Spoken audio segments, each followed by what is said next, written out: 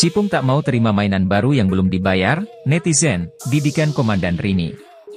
Rayanza Malik Ahmad yang karib disapa Cipung sering kali bertingkah lucu saat bersama Susrini. Seperti halnya saat mereka liburan di Jepang.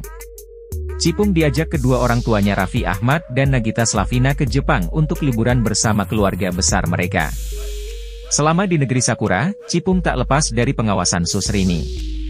Momen menarik terlihat ketika Susirini memberikan mainan baru ke Rayanza saat mengunjungi Disney Sea. Adik Rafathar itu ragu menerima boneka Donald Bebek dari Susrini yang masih ada label harganya. Cipung bertanya apakah mainan tersebut sudah dibayar atau belum. Udah dibayar belum?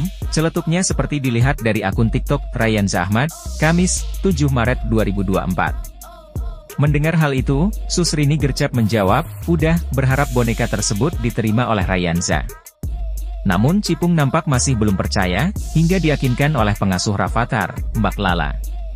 Udah Mbak Lala bayar, sahut pengasuh Rafathar tersebut dari kejauhan. Sementara Nagita Slavina dan Syahnas Sadikah dan orang-orang di sekeliling dibuat terhibur dengan kelakukan Cipung.